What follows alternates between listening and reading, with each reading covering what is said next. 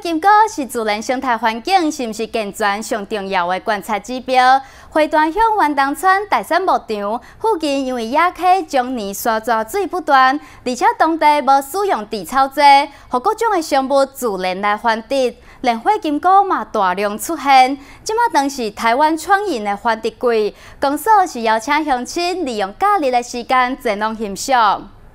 这一大片山拿，就是台湾创印上好的生长的所在。花端乡长李成志伫去年带国外的朋友参访附近的大山牧场，暗时经过牧场附近的时阵，发现真侪花金菇，和外国的朋友是感觉真惊喜。后来透过国内花金菇专家，甲社区之间研讨后育了后，由社区之间负责后育的计划，今年第一届开放观赏花金菇。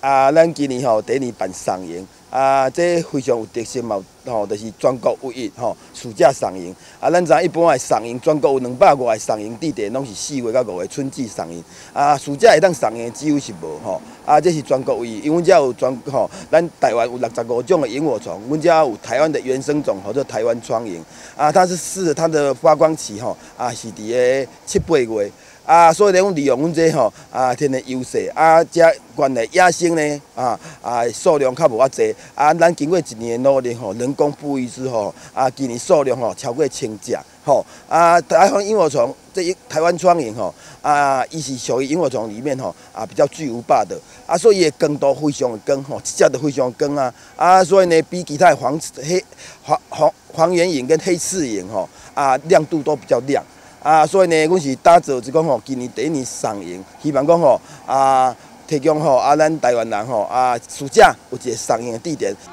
花端乡湾东社区服育的花金菇品种是台湾创银，八九月是高配的时阵，上适合来观赏花金菇。因为即马当时学生热热，除了会当观赏花金菇以外，也可以当到牧场接牛奶、农场办水果、餐厅食美食、山村老场观赏农产采花，做一场生态之旅。伫八月十三暗时，火车头甲图书馆、花坛乡公所嘛准备有免费观赏花金果的接驳专车，请乡亲多加利用。新中华新闻北边林花坛采访报道。